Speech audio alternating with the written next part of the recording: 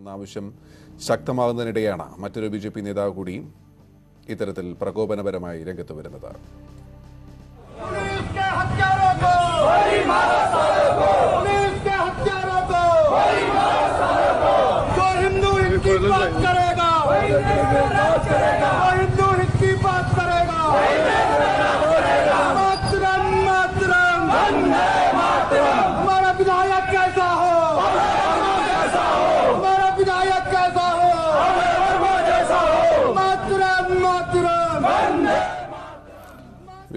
Sarun A ജോസാണ് ചേരുന്നത് സരുൺ വിവിധ ഭാഗങ്ങളിൽ നിന്നും പ്രകോപനങ്ങൾ വെല്ലുവിളികൾ എന്താണ് അവസ്ഥ?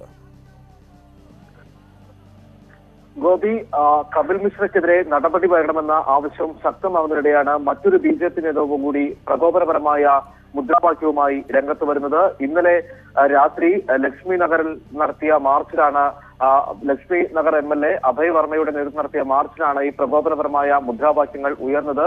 പ്രതിഷേധക്കാർക്ക് നേരെ വെടി ഉതിർക്കണമെന്ന മുദ്രാവാക്യമാണ് ഇതിൽ ഉയർന്നു കേട്ടത്.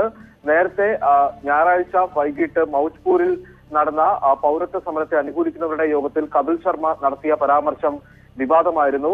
ഡൊണാൾഡ് ട്രംപിന്റെ സന്ദർശനത്തിന് ശേഷം ഈ ഷഹീൻ ബാഗ് അടക്കമുള്ള സമരക്കാരെ വെച്ചു പൊറപ്പിക്കില്ലെന്നും രണ്ടാമതൊരു ഷഹീൻ ബാഗ് ആവർത്തിക്കില്ലെന്നും കപിൽ മിശ്ര പറഞ്ഞത് വൻ വിവാദമായിരുന്നു. കപിൽ മിശ്രയെ അറസ്റ്റ് ചെയ്യണമെന്ന ആവശ്യവും ശക്തമായി ഉയരുന്നുണ്ട്. ഇതിനിടെയാണ് മറ്റൊരു ബി ജെ പി നേതാവ് കൂടി പ്രകോപനപരമായ മുദ്രാവാക്യവുമായി വീണ്ടും രംഗത്ത് വരുന്നത്. അതേസമയം കപിൽ മിശ്രയെ അറസ്റ്റ് ചെയ്യണമെന്ന ആവശ്യം ഉയരുന്നതിനിടെ തന്നെ കപിൽ മിശ്രയുടെ പ്രകോപനപരമായ പ്രസ്താവന വീണ്ടും അദ്ദേഹം ആവർത്തിക്കുകയാണ്. രണ്ടാം ഷഹീൻ ബാഗ് അനുവദിക്കില്ല. ഇനി അതിന്റെ ആവശ്യമില്ല എന്നുള്ള തരത്തിലുള്ള ട്വീറ്റാണ് അദ്ദേഹം ഏറ്റവും ഒടുവിലായി കുറിച്ചത്. ഇപ്പോഴും ബി ജെ പി ഇപ്പോഴിതാ B J P M L എയുടെ ഭാഗത്തു നിന്ന് പ്രകോപനപരമായ മുദ്രാവാക്യവും ഉയരുന്നു. ഗോപി.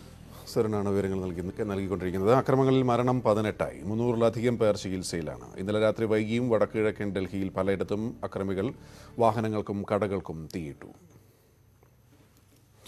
ഡൽഹിയിലെ സാഹചര്യം കേന്ദ്രമന്ത്രിസഭായോഗം ചർച്ച ചെയ്യുകയാണ്. സുരക്ഷാ ഉപദേഷ്ടാവ് അജിത് ഡോവൽ സ്ഥിതിഗതികൾ മന്ത്രിസഭായോഗത്തിൽ അവതരിപ്പിച്ചു. അക്രമങ്ങളിൽ ഡൽഹി പോലീസ് കമ്മീഷനോട് വിശദീകരണം നൽകാൻ ഡൽഹി ഹൈക്കോടതി ആവശ്യപ്പെട്ടു. സുപ്രീം കോടതിയും ഡൽഹി അക്രമവുമായി ബന്ധപ്പെട്ട ഹർജികൾ ഇന്ന് പരിഗണിക്കും. ഡൽഹിയിൽ സൈന്യത്തെ വിളിക്കണമെന്ന് ഡൽഹി മുഖ്യമന്ത്രി അരവിന്ദ് കെജ്രിവാൾ ആവശ്യപ്പെട്ടു. പി ജി പ്രബോധും സരണും ചേരുന്നു. പ്രബോധ് ഇന്ന് എന്താണ് അവസ്ഥ? ഡൽഹിയിൽ കോടതികളിൽ വരുന്ന ഹർജികൾ ഏതൊക്കെ? മറ്റു വിവരങ്ങൾ. ഗോപി ഡൽഹിയിൽ ഇപ്പോഴും ശാന്തമായെന്ന് പറയാൻ കഴിയില്ല. ഗോകുൽപുരിയിലാണ് ഇന്ന് രാവിലെ ഇപ്പോൾ സംഘർഷം റിപ്പോർട്ട് ചെയ്തിരിക്കുന്നത്. ഗോകുൽപുരിയിൽ നാല് കടകൾ അക്രമികൾ തീവച്ച് നശിപ്പിക്കുകയുണ്ടായി. സമീപത്തുണ്ടായിരുന്ന രണ്ട് കാറുകളും കത്തി നശിച്ചിട്ടുണ്ട്. കൂടുതൽ നാശനഷ്ടങ്ങൾ ഉണ്ടാകുന്നതിന് മുമ്പ് തന്നെ ഫയർഫോഴ്സും പോലീസും എത്തിയ ശേഷം സ്ഥിതി നിയന്ത്രണ വിധേയമാക്കുകയായിരുന്നു. തീ അണയ്ക്കാൻ സാധിച്ചു. ഏതാണ്ട് ഒരു മണിക്കൂറോളം നേരം പരിശ്രമിച്ച ശേഷമാണ് തീ പൂർണമായി അണയ്ക്കാൻ സാധിച്ചത്. കർഫ്യൂവും അതുപോലെ തന്നെ നിരോധനാജ്ഞ നിലനിൽക്കുന്ന സ്ഥലത്താണ്. പോലീസ് വലിയ തോതിൽ പോലീസ് ബന്ധുവശമുള്ള സ്ഥലത്താണ്. ഇന്നും അക്രമികളുടെ ഭാഗത്തു നിന്ന് ഒരു അക്രമികളുടെ ഭാഗത്തുനിന്ന് ഒരു നീക്കം ഉണ്ടായിരിക്കുന്നു ഒരു ആക്രമണം ഉണ്ടായിരിക്കുന്നത്. നേരത്തെ ഇന്ന് രാവിലെ വരെ വിവിധ പ്രദേശങ്ങളിൽ സംഘർഷം ഉണ്ടായിരുന്നെങ്കിലും ആ രാവിലെ പുലർച്ചെ ഒരു നാലര മുതൽ ഒൻപത് മണിവരെ സ്ഥിതിഗതികൾ ഏറെക്കുറെ ശാന്തമായിരുന്നു. കാര്യമായ അനിഷ്ട സംഭവങ്ങൾ ഒരിടത്ത് റിപ്പോർട്ട് ചെയ്യപ്പെട്ടിട്ടില്ല. പക്ഷേ ഗോകുൽപുരിയിലും ചാന്ദ്ബാഗിലും ഇപ്പോഴും സ്ഥിതി വഷളാണെന്നാണ് പോലീസ് നൽകുന്ന വിവരം. പ്രദേശത്തേക്ക് കൂടുതൽ പോലീസിനെ അയക്കാൻ ഡൽഹി സ്പെഷ്യൽ കമ്മീഷണർ ഉത്തരവിട്ടിട്ടുണ്ട്. ഗോകുൽപുരിയിലേക്ക് മൂന്ന് ബറ്റാലിയൻ അധികം പോലീസിനെയാണ് ഇപ്പോൾ വിനിയോഗിച്ചിരിക്കുന്നത്. പോലീസുകാരുടെ സാന്നിധ്യത്തിൽ നടന്ന ആക്രമണം സാന്നിധ്യത്തിൽ തന്നെ ആക്രമണങ്ങൾ തുടരുന്ന സാഹചര്യത്തിൽ കൂടുതൽ ഗൗരവത്തോടുകൂടി വിഷയം കൈകാര്യം ചെയ്യണമെന്നും പോലീസിന് ആ നിർദ്ദേശം നൽകിയിട്ടുണ്ട്. മറ്റൊരു പ്രധാനപ്പെട്ട ആശങ്ക നിൽക്കുന്ന സ്ഥലം ചാന്ദ്ബാഗിലാണ്. ചാന്ദ്ബാഗിൽ ഇന്നലെ രാത്രി വൈകിയും വലിയ തോതിലുള്ള ആക്രമ ആക്രമണങ്ങൾ ഉണ്ടായിരുന്നു ചാന്ദ്ബാഗിലെ ചില സ്ഥലങ്ങളിൽ ഇന്നും രാവിലെയും വീടുകൾക്ക് നേരെ കല്ലേറ കല്ലേറുണ്ടായതായ റിപ്പോർട്ടുകളുണ്ട്. ചാന്ദ്ബാഗിലേക്കും ഇപ്പോൾ പോലീസിന്റെ വിന്യാസം കൂടുതൽ ശക്തമാക്കിയിരിക്കുന്നു. അതേസമയം ഇന്നലെ വലിയ തോതിൽ സംഘർഷങ്ങൾക്ക് സാക്ഷ്യം വഹിച്ച ജഫ്രാബാദിൽ സ്ഥിതി ഇന്ന് ഏറെക്കുറെ ശാന്തമാണ്. ജഫ്രാബാദ് ജഫ്രാബാദിലെ മെട്രോ സ്റ്റേഷൻ ഇന്ന് തുറന്നു പ്രവർത്തിക്കുന്നുണ്ട്. കഴിഞ്ഞ അഞ്ച് ദിവസമായി മെട്രോ സ്റ്റേഷന് മുന്നിൽ പൗരത്വ നിയമത്തിനെതിരെ സമരം നടക്കുകയായിരുന്നു. ഈ സമരക്കാരെ ഇന്നലെ രാത്രി പോലീസ് അറസ്റ്റ് ചെയ്ത് നീക്കിയിരുന്നു. ഇതിനുശേഷം ഇന്ന് മെട്രോ തുറന്നു പ്രവർത്തിക്കുന്നുണ്ട്. ഇപ്പോൾ അവിടെ സ്ഥിതി ശാന്തമാണ്. സീലാംപൂരിലും സ്ഥിതി ശാന്തമാണ്. അതേസമയം തന്നെ മറ്റു ചില സ്ഥലങ്ങളിലേക്ക് എത്തുമ്പോൾ സ്ഥിതി അത്ര കണ്ട് പ്രബോധ് ഇപ്പോൾ സരുൺ കൂടി ചേരുന്നു സരുൺ ഇന്ന് അടിയന്തര സാഹചര്യത്തിൽ കോടതികൾ ഹർജികൾ പരിഗണിക്കുന്നുണ്ട്. ഏതൊക്കെ കോടതികൾ ഏതൊക്കെ ഹർജികളാണുള്ളത് അത് സംബന്ധിച്ച് നിയമപരമായ വിവരങ്ങൾ. ഗോപി ഡൽഹി ഹൈക്കോടതിയിൽ ഈ ഡൽഹിയിലെ അക്രമ സംഭവങ്ങളുമായി ബന്ധപ്പെട്ട ജുഡീഷ്യൽ അന്വേഷണം വേണമെന്ന ഹർജിയാണ് ഡൽഹി ഹൈക്കോടതി പന്ത്രണ്ടരയോട് കൂടി പരിഗണിക്കുക. വിഷയത്തിൽ ഡൽഹി പോലീസിന് ഡൽഹി പോലീസ് കമ്മീഷണർക്ക് ഹൈക്കോടതി നോട്ടീസ് അയച്ചിട്ടുണ്ട്.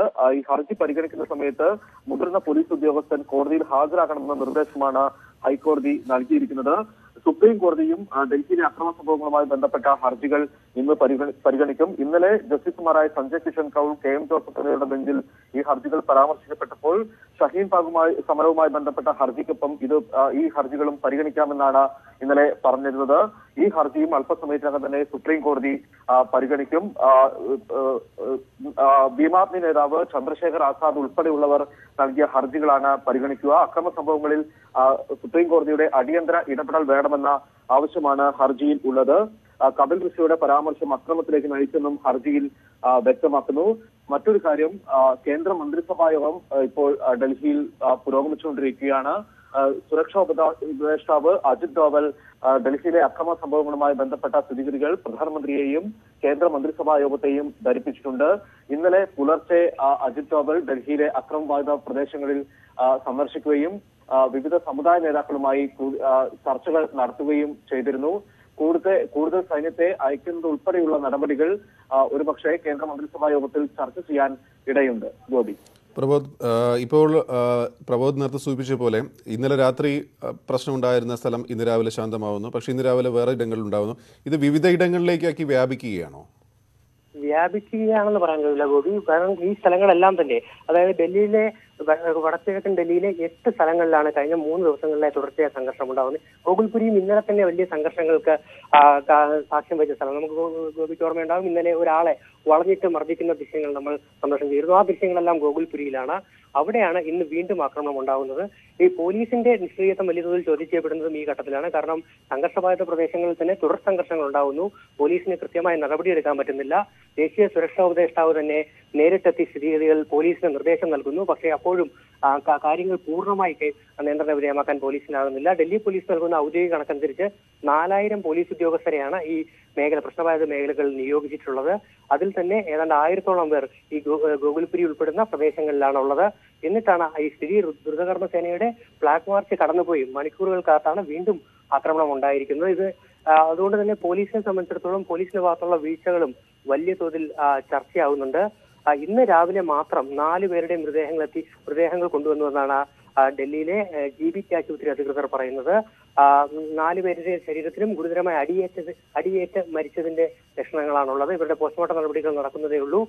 മരണകാരണം ഇപ്പോൾ മാത്രമേ വ്യക്തമാവുകയുള്ളൂ. പക്ഷേ ശരീരത്തിൽ മർദ്ദനത്തിന്റെ പാടുണ്ടായിരുന്നു. അതായത് ഇന്നലെ രാത്രി ഉണ്ടായ ആക്രമണങ്ങളിൽ കൊല്ലപ്പെട്ടവരെ ഇന്ന് കണ്ടെത്തി ആശുപത്രിയിലേക്ക് എത്തിക്കുക എത്തിക്കുകയായിരുന്നു എന്നാണ് പോലീസിന്റെ ഭാഷ്യം. മരണസംഖ്യ ഇതിനോടകം തന്നെ പതിനെട്ടായി കഴിഞ്ഞിരിക്കുന്നു. മുന്നൂറോളം പേരാണ് ചികിത്സയിലുള്ളത്. നാൽപ്പത് പേരുടെ നില ആശുപത്രിയിൽ കഴിയുന്ന നാൽപ്പത് പേരുടെ നില അതീവ ഗുരുതരമാണ്. അതുകൊണ്ട് തന്നെ ഇവർ ഇനിയും മരണസംഖ്യ ഇനിയും ഉയർന്നേക്കുമെന്നാണ് പോലീസും ആശുപത്രി ആശുപത്രി അധികൃതരും പ്രബോധ്.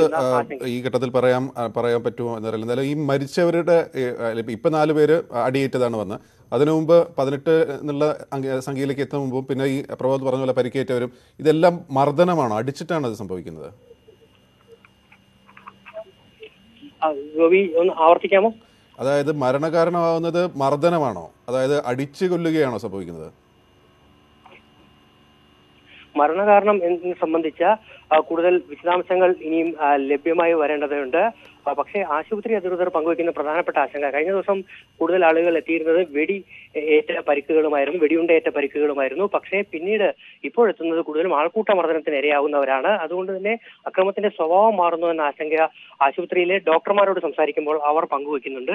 വലിയ തോതിൽ മർദ്ദനമേറ്റ അവസ്ഥയിലാണ് രശ്മിത ഈ ഘട്ടത്തിൽ നമ്മളോട് രശ്മിത താങ്കൾ മനസ്സിലാക്കുന്നത് എന്താണ്? എന്താണ് അവസ്ഥ ശരിക്കും ഡൽഹിയിൽ? ഇന്ന് സ്ഥിതിഗതികൾ ഏതാണ്ട് നിയന്ത്രണ വിധേയമായി എന്നാണ് നമുക്ക് മനസ്സിലാകാൻ സാധിക്കുന്നത്. അപ്പോ ഈ ഭരണകൂടത്തിന് വേണമായിരുന്നുവെങ്കിൽ ഇന്നലെയും ഇത് നിയന്ത്രണ വിധേയമാക്കാമായിരുന്നു. ഇന്ന് നാം തെരുവിൽ കാണുന്ന പോലീസുകാരെ ഇന്നലെ നാം കണ്ടിട്ടില്ല. ഇവിടെ ഇപ്പോൾ പട്ടാളത്തെ ഡിപ്ലോയ് ചെയ്തുകൊണ്ട് കേന്ദ്ര സർക്കാർ ശ്രമിച്ചുകൊണ്ടിരിക്കുകയാണ് ഈ കലാപത്തെ അടിച്ചമർത്താൻ. ഇപ്പോഴും ഈ കലാപത്തിന് നേതൃത്വം കൊടുത്ത ഈ കലാപത്തിന് കാരണമായ കപിൽ മിശ്ര എന്ന് പറയുന്ന ബി ജെ പി നേതാവ് വളരെയധികം പ്രകോപനപരമായിട്ടുള്ള പ്രസ്താവനകളുമായി ഇന്നും രംഗത്തെത്തിയിട്ടുണ്ട്. ഈ കപിൽ മിശ്ര പറഞ്ഞത് ഷഹീൻ ബാഗ് അവസാനിപ്പിക്കുവാൻ അതായത് ഷഹീൻ ബാഗ് അവസാനിപ്പിക്കുവാനായി ബി ജെ പിയുടെ നേതൃത്വത്തിൽ നടത്തിയ ഒരു കലാപമായിരുന്നു എന്നുള്ളതിന് ഇനി പ്രത്യേകിച്ച് തെളിവുകളുടെ ഒന്നും ആവശ്യമില്ല. ഇപ്പൊ കണ്ണിൽ കാണുന്നവരെ വെടിവെച്ച് കൊല്ലുവാനാണ് ഇപ്പൊ ഉത്തരവുള്ളത്. അതും മിക്കവാറും ഇങ്ങനെയുള്ള കലാപകാരികളല്ല അതിൽ പെടുവാൻ സാധ്യത. നമുക്ക് നമ്മുടെ പരിചയത്തിൽ നിന്ന് ഇതിനു മുമ്പുള്ള ഗുജറാത്തിലെ അവസ്ഥയിൽ നിന്നൊക്കെ മനസ്സിലാകുന്ന ഒരു കാര്യമുണ്ട്. ഇത് ഇവിടെ സമാധാനപരമായി പൗരത്വ ഭേദഗതിക്കെതിരെ സമരം നടത്തുന്നവർക്കെതിരെയാണ് ഈ വെടിവെപ്പിന്റെ ഉത്തരവ് പോലും ഫല ഫലത്തിൽ വരുവാൻ സാധ്യത എന്നാണ് മനസ്സിലാകുന്നത് ഈ പ്രദേശങ്ങളിൽ നിന്നൊക്കെ കലാപബാധിത പ്രദേശങ്ങളിൽ നിന്നൊക്കെ ഒഴിഞ്ഞു പോകുന്ന ആളുകളുടെ എണ്ണം കൂടുതലാണ്. വീട്ടിൽ അത്യാവശ്യമുള്ള ആട്ടയും പാൽപ്പില്ലാത്ത ഒരുപാട് പേർ കഷ്ടപ്പെടുന്നുണ്ട്. ഇതൊക്കെ ഗവൺമെന്റ് ഇതിനൊക്കെ സംസ്ഥാന സർക്കാരും കേന്ദ്ര സർക്കാരും ഇതിനെയൊക്കെ ഫലപ്രദമായി നേരിടാൻ എന്താണ് ചെയ്യുന്നതെന്ന് ഇതുവരെയും പറഞ്ഞിട്ടില്ല. കെജ്രിവാൾ പോയി പ്രാർത്ഥിക്കുകയാണ് ചെയ്യുന്നത്. നോക്ക് നമ്മൾ തെരഞ്ഞെടുത്ത ഒരു സർക്കാരാണത്. ഈ സർക്കാരിന്റെ തലവൻ പോയി പ്രാർത്ഥിക്കുകയാണ് ചെയ്യുന്നത്. എങ്ങനെയാണെങ്കിൽ എന്തിനാണ് സർക്കാർ നമ്മൾ പോയി ദൈവത്തിനോട് ഡയറക്റ്റ് പ്രാർത്ഥിച്ചാൽ പോരെ? ഈ ഇടനിലക്കാരനായി ഒരു മുഖ്യമന്ത്രിയുടെ തന്നെ ആവശ്യം എന്താണുള്ളത്? ഇപ്പോ ഇത് ആസൂത്രിതമല്ല പതിനെട്ട് മരണമെന്നാണ് പറഞ്ഞിരുന്നത്. അതിപ്പോ ഇരുപതായി എന്നൊരു അപ്ഡേഷൻ ക്ഷമിക്കണം ഒരു ദുഃഖവാർത്തയുണ്ട്. ഇരുപത് മരണം ആയിട്ടുണ്ടെന്ന്. രശ്മിത സത്യത്തിൽ ഒരു ഭീതി അത് എത്രമാത്രമാണ് അവിടെ ജീവിക്കുന്ന ജനങ്ങൾക്ക്? ആളുകൾ പറയുന്നത്. ഈ കലാപം നേരിട്ട് കണ്ട ആളുകൾ പറയുന്നത് ഔദ്യോഗിക കണക്കെന്ന് പറയുന്ന പതിനെട്ടും ഇരുപതും ഒന്നുമല്ല അതിന് മുകളിലേക്ക് പോകുന്നുണ്ട് എന്നാണ്. നമ്മുടെ കേന്ദ്ര ആഭ്യന്തരമന്ത്രി ഇതിനെക്കുറിച്ച് കൃത്യമായ ഒരു അന്വേഷണമൊക്കെ നടത്തുന്നതിന് മുമ്പ് വളരെ പ്രജുഡൈസ്ഡ് ആയിട്ട് തന്നെ പറഞ്ഞിരിക്കുകയാണ് ഇത് ആസൂത്രിതമല്ല എന്ന്. കപിൽ മിശ്ര ഒരു പ്രസ്താവന ഇറക്കുന്നു. അത് കേട്ടിട്ട് പൗരത്വ ഭേദഗതി നിയമം ചക്കോ ചക്കയോ ചുക്കോ എന്ന് പോലും അറിയാത്ത ഒരു കൂട്ടം ആളുകൾ ഈ പ്രക്ഷോഭ സ്ഥലത്തെത്തി മുസ്ലിങ്ങളെ തരംതിരിച്ച് ഉപദ്രവിക്കുകയും കൊല്ലുകയും ഒക്കെ ചെയ്യുന്നു. അവരുടെ സ്ഥലങ്ങൾക്ക് അവരുടെ കച്ചവട സ്ഥാപനങ്ങൾ കൊള്ളയടിക്കുകയും അവരുടെ വാസസ്ഥാനങ്ങൾക്ക് തീയിടുകയൊക്കെ ചെയ്യുന്നു. ഈ സമയത്തും കേന്ദ്ര ആഭ്യന്തരമന്ത്രി പറയുന്നത് ഇത് ആസൂത്രിതമല്ല എന്നാണ്. എന്ത് ബേസിസിലാണ് അദ്ദേഹം ആ ഒരു നിലപാടിലെത്തിയതെന്ന് ഒരു നിമിഷം ഒന്ന് ഹോൾഡ് ചെയ്യാൻ പറ്റും ഇപ്പോൾ ഇ ടി മുഹമ്മദ് ബഷീർ കൂടി ഘട്ടത്തിൽ ചേരുന്നുണ്ട്. ശ്രീ ഇ ടി മുഹമ്മദ് ബഷീർ മരണം ഇരുപതായി. സത്യത്തിൽ വലിയ ഭീതിയുടെ അന്തരീക്ഷം. താങ്കൾ എങ്ങനെയാണ് മനസ്സിലാക്കുന്നത്? അല്ല ശരിയാണ്. വലിയ ഭീതിയുടെ അന്തരീക്ഷമാണ്. എങ്ങോട്ടെല്ലാണ് ഇനി പാടുകയെന്ന് പറയാൻ ഒക്കില്ല. ഇതിലെ ഒരു സംഗതി നമ്മൾ നോക്കണ്ട. എല്ലാ- ഏത് സംഗതി നമ്മളുടെ പിന്നെ പിന്നെ കഴിഞ്ഞു പോയ സംഗതി കൂടി നമ്മൾ നോക്കണം. ഇവിടെ കുറേ ദിവസമായിട്ട് ബി ജെ പിന്റെ നേതാക്കന്മാർ പരസ്യമായി പറഞ്ഞുകൊണ്ടിരിക്കുന്ന കാര്യമുണ്ട്. പരസ്യമായിട്ട് പറയുന്നത് പത്രത്തിൽ വന്ന കാര്യം. എന്താണ്? പത്രത്തിൽ വന്ന കാര്യത്തിൽ ബി ജെ പി നേതാക്കൾ ചില പ്രസ്താവന ഉണ്ടായിരുന്നു. ഗോത്ര ഓർമ്മ വേണം എന്ന് നമ്മളൊക്കെ നിങ്ങൾ നിങ്ങളെല്ലാവരും അതിനെപ്പറ്റി അറിഞ്ഞാണ് പത്രങ്ങളൊക്കെ ഉണ്ട്. ഗോത്ര ഓർമ്മ വേണം എന്നുള്ള നിലയിലുള്ള പ്രസ്താവന പറഞ്ഞു എന്ന് മാത്രമല്ല പലയിടത്തും ഈ സമരം തുടങ്ങിയതിനു ശേഷമുള്ള ഈ സമരം ബാധിച്ച പല സ്ഥലങ്ങളിലും പോകാൻ എനിക്ക് അവസരം ഉണ്ടായിട്ടുണ്ട് പരിക്ക് പറ്റിയവർ പോയി ആശുപത്രിയിലും കണ്ടിട്ട് അത് ജയനയിലെ കുട്ടികളുടെ കാര്യത്തിലും അതുപോലെ തന്നെ ഷാഹിൻ ബാഗിലെ പ്രശ്നത്തിലൊക്കെ അവിടെ പോയി ഒക്കെ കണ്ട ഒരാളെന്നുള്ള നിലയിൽ എന്ത് എനിക്ക് കൃത്യമായ ബോധ്യമുണ്ട്. പോലീസ് ഉണ്ടാക്കിയ ഒരു പ്ലോട്ടാണിത്. കാരണം സമരം അക്രമകത എന്ന് പറയുന്നത് യഥാർത്ഥത്തിൽ ആ ശക്തികൾക്ക് ഗുണം ചെയ്യും. അതുകൊണ്ട് എങ്ങനെയെങ്കിലും ഒരു പ്രശ്നം ഉണ്ടാക്കണം എന്നുള്ള നിലയിൽ കിടഞ്ഞ് പരിശ്രമിക്കാണ് യഥാർത്ഥത്തിൽ പോലീസ് ചെയ്തിട്ടുള്ളത്. അതായത് ഒരു കലാപം ഭരണകൂടത്തിന് ആവശ്യമാണ് എന്നാണ് താങ്കൾ പറയുന്നത്? ഒരു. കലാപം ഉണ്ടാകുക എന്നുള്ളത് ഭരണകൂടത്തിന് ആവശ്യമാണ്. ഇങ്ങനെ ഒരു ഇങ്ങനെ ഒരു പ്രസിപ്പിറ്റേറ്റ് ചെയ്യുക എന്നുള്ളത് അവരുടെ അജണ്ട ആയിരുന്നു. ആ അജണ്ട വെച്ചുകൊണ്ട് അവർ വർക്ക് ചെയ്തു. മാത്രമല്ല ഇപ്പോഴത്തെ സംഭവവികാസങ്ങൾ നിങ്ങൾ എടുത്തു നോക്കിയാൽ നമ്മൾ പത്രവാർത്ത വാർത്തയും കേട്ടാൽ നമുക്കറിയാം. പോലീസ് പോലീസ് രണ്ട് റോൾ എടുത്തു. ഒന്ന് അക്രമം ചെയ്തതിന് കൂട്ടി നിൽക്കുക. അതിന്റെ കൂടെ അക്രമത്തിൽ അവർ പങ്കുവയ്ക്കുക. രണ്ടാമത്തത് അല്ലെങ്കിൽ നിഷ്ക്രിയത്വം ഭരിക്കുക ഏതായാലും നീതി നടപ്പിലാക്കാനോ പ്രശ്നം സംഖ്യയിലാക്കാനോ ഒഴിവാക്കാനോ ഒന്നും അവർ വർക്ക് ചെയ്തിട്ടില്ലെന്ന് ഈ റിപ്പോർട്ടിൽ നിന്നൊക്കെ വ്യക്തമായിട്ട് മനസ്സിലാക്കാൻ കഴിയുന്ന കാര്യമാണ്. അപ്പൊ ബി ജെ പി യഥാർത്ഥത്തിൽ ഇങ്ങനത്തെ ഒരു ഒരു ഒരു സ്ഥിതിയിലേക്ക് ഈ സമരവുമായിട്ട് ബന്ധപ്പെട്ട കാര്യങ്ങളെ കൊണ്ടുപോകാൻ വേണ്ടി ബി വേഷം കെട്ടി പ്രശ്നങ്ങൾ ഉണ്ടാക്കാൻ വേണ്ടി പ്രതികരിച്ചത്. ടെലിഫോൺ ലൈനിൽ അവ്യക്ത ആ, രശ്മിത ഈ ഘട്ടത്തിലുണ്ടെന്ന് പ്രതീക്ഷിക്കുന്നു. രശ്മിത സാധാരണ രീതിയിൽ ഈ ഇപ്പോൾ താങ്കൾ പറഞ്ഞ പ്രകാരമാണെങ്കിൽ ഇപ്പോൾ ഒരുപാട് പേര് പരിക്കേറ്റ് കിടക്കുന്നുണ്ട്. മരണസംഖ്യ ഔദ്യോഗികമായി പറയുന്നേ ഉള്ളൂ എത്രയാണെന്നുള്ളത് ഇനിയിപ്പോൾ പുറത്തു വരാനിരിക്കുന്നേ ഉള്ളൂ. ഇപ്പോൾ ഈ കലാപം ബാധിച്ചവരെ അവരുടെ ഒരു ഭീതി നമുക്ക് പറഞ്ഞറിയിക്കാൻ പറ്റാത്തതാണ്. അവരെ സഹായിക്കാനോ അങ്ങനെ എന്തെങ്കിലും മിഷനറി അവിടെ ഉണ്ടോ? ഇവിടെ ചില സിറ്റിസൺസ് ഗ്രൂപ്പുകൾ ഈ കലാപബാധ പ്രദേശത്തുള്ള ആളുകൾക്ക് സുരക്ഷിതമായ താമസ സൗകര്യം ഒരുക്കാനുള്ള ശ്രമം നടത്തുന്നുണ്ട്. പക്ഷെ ഇങ്ങോട്ടേക്ക് എത്തുന്നത് ഈ സംഘപരിവാറിന്റെ ഫേക്ക് കോൾസ് ആണ്. ഈ സൗകര്യം ഒരുക്കുന്ന ആളുകളെ ആക്രമിക്കുവാൻ വേണ്ടിയിട്ടുള്ള ഫേക്ക് കോൾസ് എത്തുന്നു എന്നൊരു നടക്കുന്നുണ്ട്. ഇത് സർക്കാർ നേതൃത്വത്തിലാണ് വാസ്തവത്തിൽ ഈ സുരക്ഷിതമായ സൗകര്യം ഒരുക്കേണ്ടത്. കാരണം സർക്കാരിന് ഇവരെ ഈ കലാപകാരികളെ നേരിടാനുള്ള എല്ലാ സൗകര്യങ്ങളും ഉണ്ടാവും. നമുക്ക് ഈ കലാപത്തിൽ എഴുപതോളം ആളുകൾക്ക് പരിക്കേറ്റിരിക്കുന്നത്. സർക്കാരിന്റെ കണക്കാണ് എഴുപതോളം പേർ. എഴുപതോളം പേർക്ക് പരിക്കേറ്റിരിക്കുന്നത് അല്ലെങ്കിൽ മരിച്ചിട്ടുള്ളത് വെടിയുണ്ടകൾ ഏറ്റിട്ടാണ്. ഇത്രയധികം ഡൽഹിയിൽ സുലഭമാണോ വെടിയുണ്ടകൾ? ഈ വെടിയുണ്ടകളൊക്കെ എവിടുന്ന് വന്നു? ഇങ്ങനെയുള്ള കലാപം നടക്കുമ്പോൾ പ്രദേശത്തെ തോക്കുകളൊക്കെ സറണ്ടർ ചെയ്യണം എന്നുള്ള ഉത്തരവ് പൊതുവെ ഉണ്ടാകാറുണ്ട്. ഇതുവരെ സർക്കാർ അങ്ങനെ ഒരു ഉത്തരവ് ഇറക്കിയതായിട്ട് നമുക്കറിയില്ല. തോക്കുകൾ കളിപ്പാട്ടം പോലെ ആളുകൾ കൊണ്ടു നടക്കുകയാണ്. ഇത് ഇന്ന് തുടങ്ങിയല്ല? ജനുവരി മുപ്പതിന് നമ്മൾ കണ്ടതാണ്.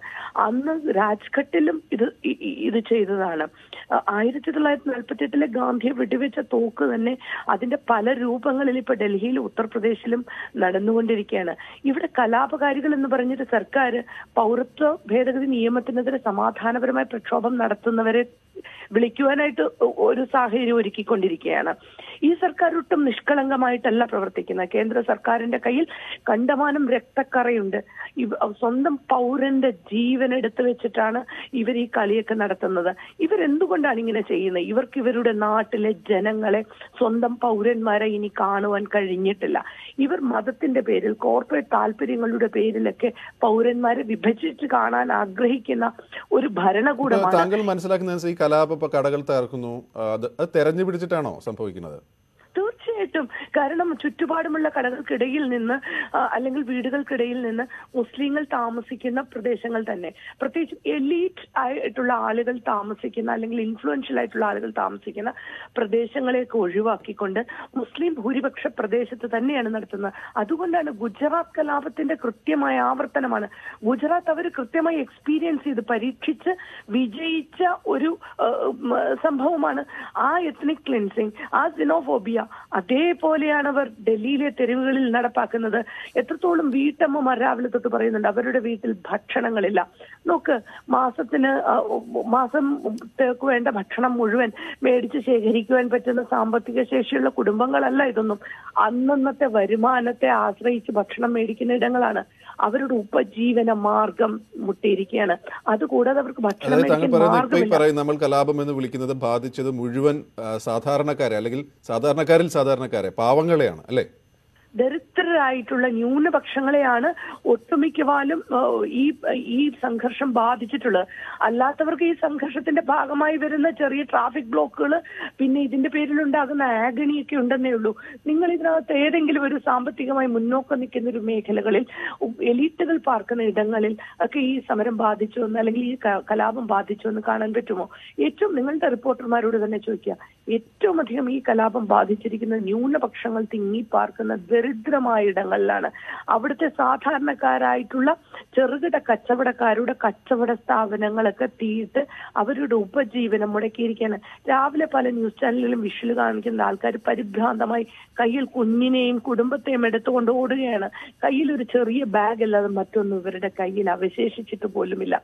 ഇത് ഇന്ത്യയാണെന്ന് നിങ്ങൾ ഓർക്കണം. ഇത് നമ്മുടെ ദേശീയ തലസ്ഥാനമാണ്. ഇവിടെ ഏതൊരു അക്രമം നടന്നു കഴിഞ്ഞാലും ഒരു മണിക്കൂറിനുള്ളിൽ എല്ലാം അടിച്ചമർത്തുവാനുള്ള സൗകര്യമുണ്ട്. ലോകത്തിലെ രണ്ടാമത്തെ ഏറ്റവും വലിയ പട്ടാള ശക്തിയുള്ള രാജ്യമെന്ന് ഊറ്റം കൊള്ളുന്ന ഒരിടം കൂടിയാണ്. ഇതാണ് ഡൽഹി പോലെയുള്ള ഒരു ചെറിയ സംസ്ഥാനത്ത് ഇവർ കലാപകാരികളെ നേരിടുന്നതെങ്കിൽ എന്ത് വിശ്വസിച്ചിട്ടാണ് ഇവരെ നമ്മൾ അന്യരാജ്യത്തിന്റെ ഒരു യുദ്ധത്തെ നേരിടാനായി കാത്തുവെക്കുക?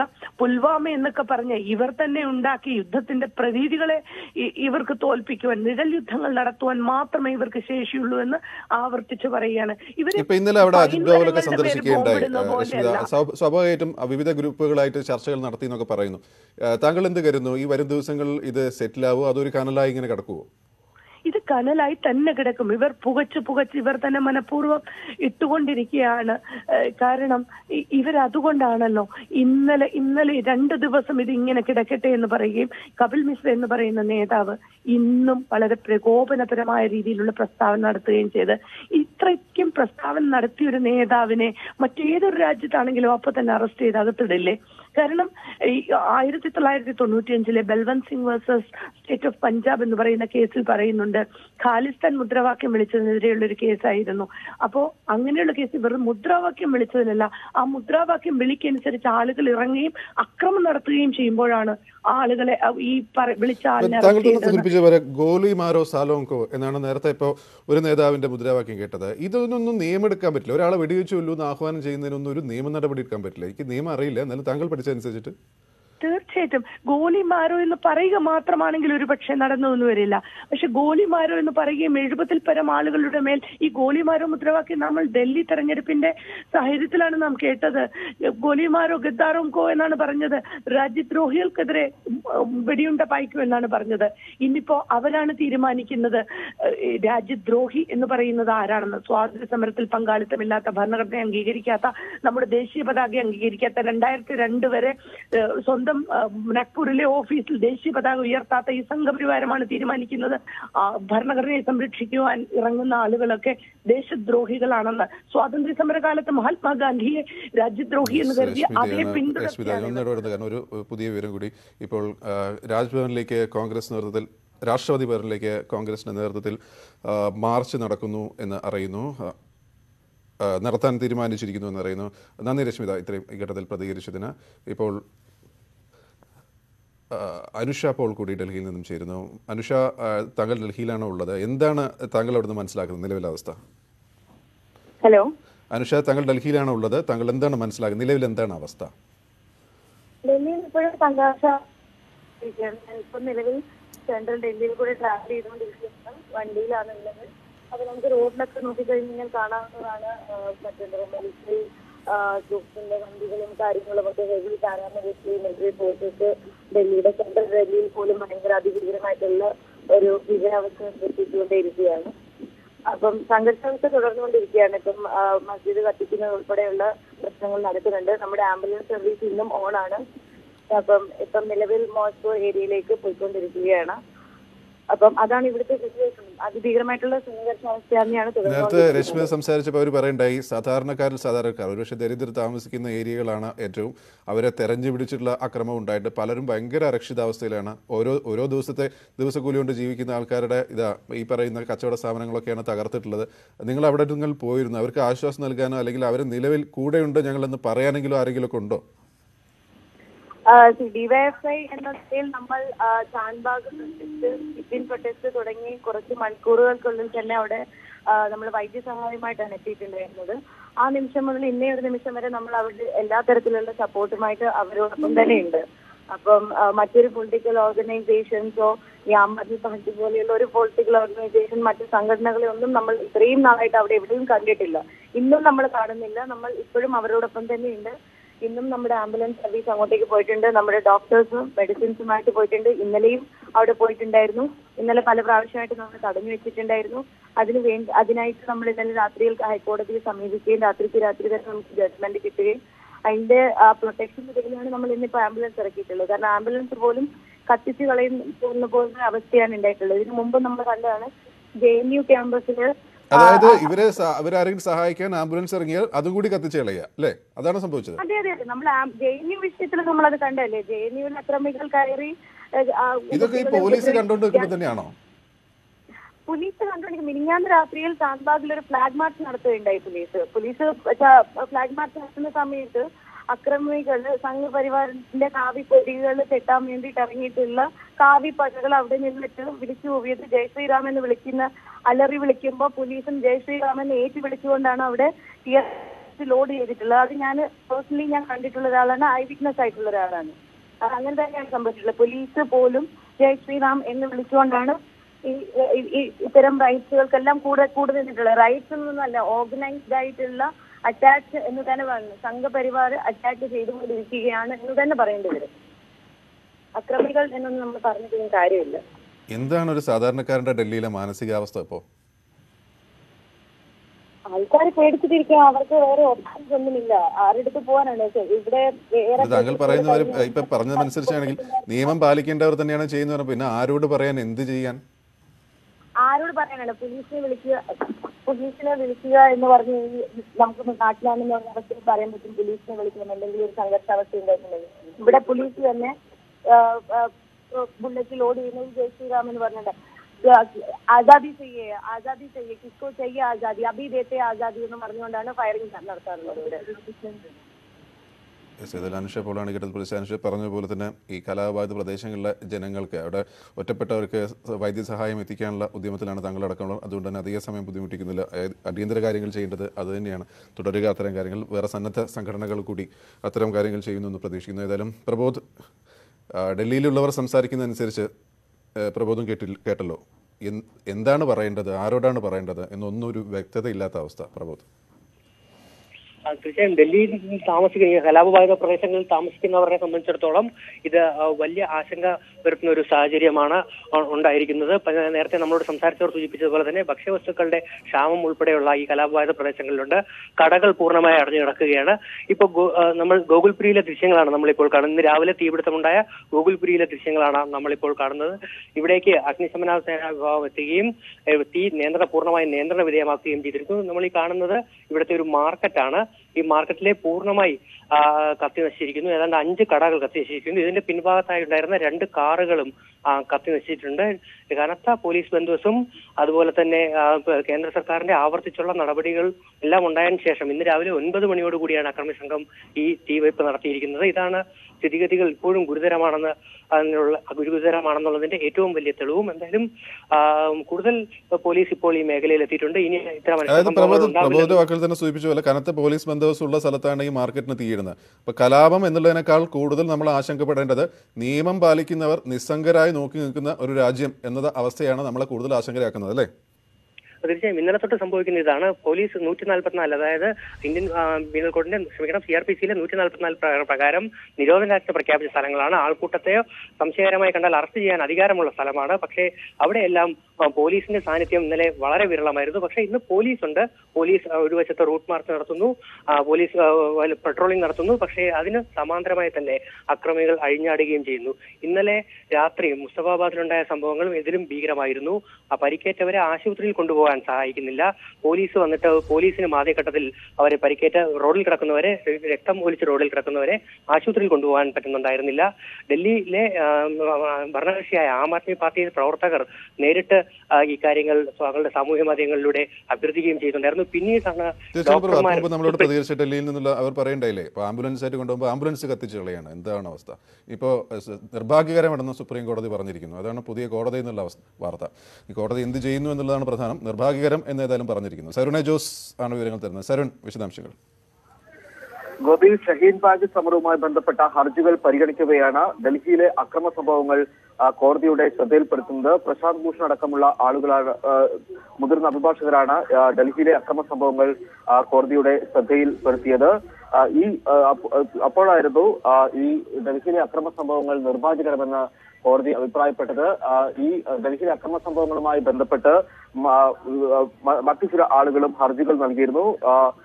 ഷഹീൻബാഗ് സ്വദേശി ബഹാദൂർ അബ്ബാസ് നഖ്വിയും ഭീം ആദ്മി നേതാവ് ചന്ദ്രശേഖർ ആസാദ് ഉൾപ്പെടെയുള്ളവരും ഹർജി നൽകിയിരുന്നു. ഈ ഹർജികൾ കോടതി തള്ളി. ഇത് ഇക്കാര്യം ഹൈക്കോടതി പരിഗണിക്കുന്നുണ്ടെന്നായിരുന്നു കോടതി കോടതിയുടെ ഭാഗത്തുനിന്നുണ്ടായ പ്രതികരണം. കോടതിയുടെ മേൽനോട്ടത്തിൽ പ്രത്യേക സംഘം ഈ ഡൽഹിയിലെ അക്രമ സംഭവങ്ങൾ അന്വേഷിക്കണമെന്ന് ആവശ്യപ്പെട്ടായിരുന്നു. ഹർജികൾ കപിൽ മിശ്രയുടെ പരാമർശം അക്രമത്തിലേക്ക് നയിച്ചെന്നും ഹർജിയിൽ ചൂണ്ടിക്കാട്ടിയിരുന്നു. എന്നാൽ ഡൽഹി ഹൈക്കോടതി ഇക്കാര്യം പരിഗണിക്കുന്നുണ്ടെന്ന കാരണം പറഞ്ഞ് ഈ ഹർജികൾ സുപ്രീം കോടതി തള്ളുകയായിരുന്നു. അതേസമയം ഡൽഹിയിൽ നടന്ന അക്രമ സംഭവങ്ങൾ നിർഭാഗ്യകരമാണെന്നും കോടതി അഭിപ്രായപ്പെട്ടു. ഈ ഡൽഹിയിലെ അക്രമ സമ- സമരവുമായി ബന്ധപ്പെട്ട പൂർണമായ വിശദാംശങ്ങൾ നമുക്ക് ലഭിച്ചില്ലെന്നും പരിമിതമായ വിവരങ്ങൾ മാത്രമാണ് ലഭിച്ചിട്ടുള്ളതെന്നും കോടതി വ്യക്തമാക്കുകയുണ്ടായി. ഗോപി. നിലവിൽ വിവിധ ഹർജികൾ ഇന്ന് കോടതിയിൽ വരുന്നില്ല. ഏതെങ്കിലും രീതിയിലുള്ള ഒരു കോടതി ഇടപെടൽ ഇന്ന് പ്രതീക്ഷിക്കേണ്ടതുണ്ടോ? ഗോപി ഡൽഹി ഹൈക്കോടതി ഡൽഹിയിലെ അക്രമ സംഭവങ്ങളുമായി ബന്ധപ്പെട്ട ഹർജികൾ ഇന്ന് പരിഗണിക്കുന്നുണ്ട്. പന്ത്രണ്ടരയ്ക്കാണ് ഈ ഹർജികൾ പരിഗണിക്കുക. ജുഡീഷ്യൽ അക്രമ സംഭവങ്ങളിൽ ജുഡീഷ്യൽ അന്വേഷണം വേണമെന്ന ഹർജിയാണ് ഡൽഹി ഹൈക്കോടതി പന്ത്രണ്ടരയ്ക്ക് പരിഗണിക്കുന്നത്. ഈ ഹർജി പരിഗണിക്കുമ്പോൾ ഡൽഹി പോലീസിലെ മുതിർന്ന ഉദ്യോഗസ്ഥൻ കോടതിയിൽ ഹാജരാകണമെന്ന നിർദ്ദേശം കോടതി നൽകിയിരുന്നു. ഡൽഹി പോലീസ് കമ്മീഷണർക്ക് ഇത് സംബന്ധിച്ച് നോട്ടീസ് നൽകുകയും ചെയ്തിരിക്കുന്നു. പന്ത്രണ്ടരയ്ക്കാണ് ഇതുമായി ബന്ധപ്പെട്ട ഹർജി ഹൈക്കോടതി പരിഗണിക്കുക. ഇന്നലെ രാത്രി അർദ്ധരാത്രി പന്ത്രണ്ടരയോടുകൂടി അടിയന്തരമായി ഈ ഡൽഹിയിലെ അക്രമ സമരങ്ങളുമായി ബന്ധപ്പെട്ട ഹർജി ഹൈക്കോടതി പരിഗണിച്ചിരുന്നു.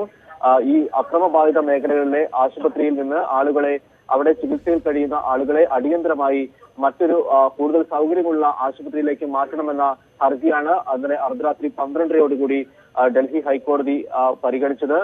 ഇതേ തുടർന്ന് ഇന്നലെ അക്രമ സംഭവങ്ങളുമായി ബന്ധപ്പെട്ട് ഗുരുതരമായി പരിക്കേറ്റ ആളുകളെ കോടതിയുടെ ഇടപെടൽ മൂലം മറ്റൊരു ഉയർന്ന ആശുപത്രിയിലേക്ക് മാറ്റിയിരുന്നു. അതുപോലെ തന്നെ ഇത്രയും തിടുക്കത്തിലുള്ള കാര്യങ്ങളാണ് മനസ്സിലാക്കുന്ന ഈ വിഷയങ്ങൾ ഡൽഹി ഹൈക്കോടതി പരിഗണിക്കട്ടെ എന്ന് സുപ്രീം കോടതി നിർദ്ദേശിച്ചിട്ടുണ്ടോ?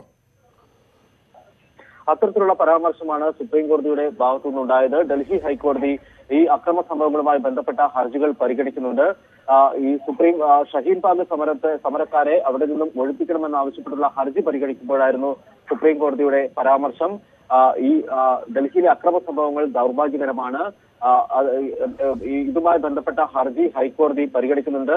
അതിനാൽ തന്നെയും ഡൽഹി ഹൈക്കോടതിയിൽ ഇക്കാര്യങ്ങൾ വ്യക്തമാക്കാമെന്നാണ് സുപ്രീം കോടതിയുടെ പരാമർശം. ഗോപി. സരണും പ്രബോധവുമാണ് വിവരങ്ങൾ നൽകിക്കൊണ്ടിരിക്കുന്നത്. അത്യന്തം ആശങ്കാജനവും ദുഃഖകരവുമായ സ്ഥിതിയാണ്.